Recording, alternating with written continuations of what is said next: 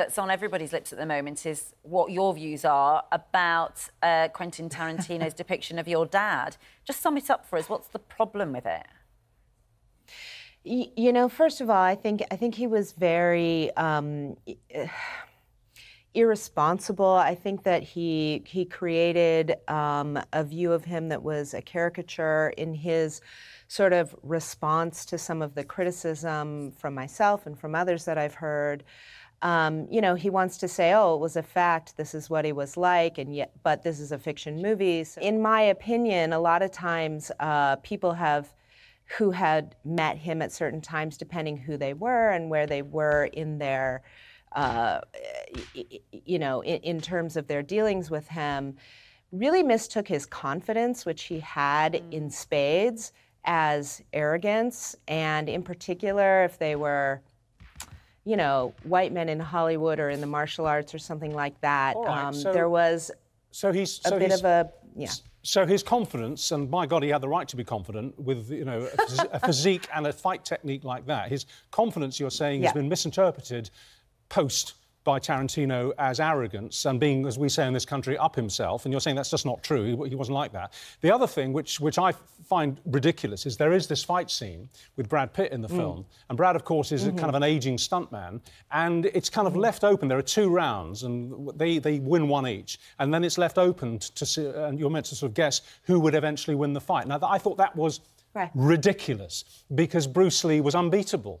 I mean, he, was, he would have taken someone like Brad Pitt to the cleaners in about three seconds. And I, for, for, me, I thought that was the most unbelievable... It's a great film, but I thought that was the most unbelievable mm. section. That Bruce Lee would get a kicking from, from a 50-year-old bloke? It just wouldn't happen, would it? No, I don't, I don't think it would happen, no. Uh, not at all. And, um, you know, I understand what he was trying to do around the character of Cliff Booth in the film, but, you know, he could have handled it in a way that was respectful of my father as mm. well as, you know, served his story purposes. We used to watch, when I, when I was 17, 18, I used to go with my mates to watch your dad's films. And we used to leave and wonder how he'd done what we'd just seen him do. Now, we knew, obviously, there was clever editing, obviously, and there was filming from certain angles, mm. but nevertheless, he had extraordinary skill in, in, in the fight sequences. Yes. You've obviously seen his films again and again and again. What do you make of him? You know, my father, one of the things that people miss about my father is that he worked extremely hard. I mean, he trained for hours and hours on end every day. Well, do you think, in a way, that he is bigger? In a way, his icon status is bigger than just this one film and Quentin Tarantino? Or do you think it actually has done damage or will do damage? Well, I think it's I think it's a little bit of both. His philosophy and the way he lived his life has inspired me to live yeah. my life in a better way. And, and, so that's the message I'm always trying to get out to everybody. And just finally, you know, you mentioned just briefly there that you felt in life as a as an Asian lead. You know, for example, he was you couldn't make Warrior because he was told we can't have an Asian lead in a film actually. That this yeah. what's happening now, sort of mocking him. Do you feel that that's a sort of repeat of belittling him because?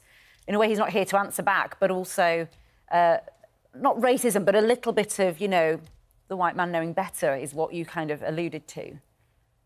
Yes, absolutely. Um, I think that the portrayal of him in Quentin Tarantino's film is uh, him being treated the way he was treated by Hollywood um, back in the time when he was trying to uh, make accurate representations of Asian men in film. And he was not treated uh, respectfully or you know i think the way that he's portrayed by uh, tarantino in the film is is exactly in that way sort of belittling him okay shannon one last question from me are you any mm-hmm. good in a fight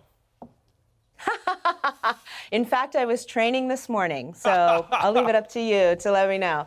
Ser- seriously, can you seriously? Have you got the moves? Can can you do a bit of the, the kung fu? Uh, yes, I trained for many years. I trained in my father's art of Jeet Kune Do, and I also trained in uh, kickboxing. I did a little bit of Taekwondo. I've wow. done some Wushu. I've done some Krav Maga. So I've, All right. I've been well, around let's the block. Quentin Tarantino doesn't meet you in a dark alley, then. Well, I was going to say. so, okay, let's. Can I just give you a quick scenario?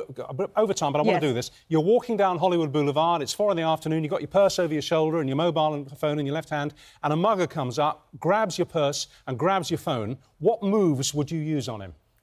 I think it depends on the situation, uh, but uh, there are all different sorts of things. In fact, we were practicing some self self defense this morning. We were talking about uh, jabbing people in the eye and how that's a really effective move. Okay. My son will love that. He's only seven. Right. Okay. Lovely. Thank you, Shannon. Thank you so much for joining us Thank this you. morning and uh, giving us your views on the film. And I loved your and dad. Warrior. I loved your Yeah. dad. He was brilliant.